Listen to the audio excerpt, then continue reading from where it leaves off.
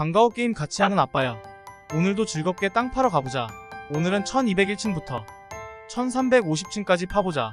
광산 맵이 똑같진 않더라도 비슷한 아이템이 나오겠지? 내 영상은 앞에 멘트가 비슷하지 않아 똑같지. 참고서로 예습한다고 생각하고 보자. 곡괭이는 내가 준비했어. 너희는 파는 걸 봐줘. 마지막에 쿠키 영상도 꼭 보고 가. 그럼 이따가 1350층에서 꼭 다시 보자.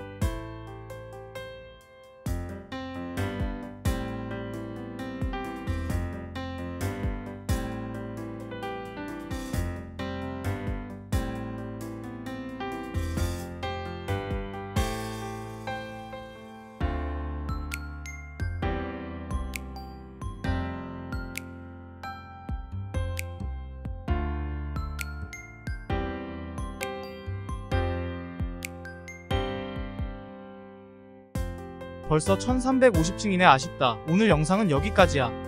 좋아요 구독은 바빠도 눌러줘. 여기부터는 쿠키 영상이야. 내 채널은 항상 다음 영상에 예고편이 있어. 다음 영상에서는 1350층까지 땅을 팔 거야. 끝.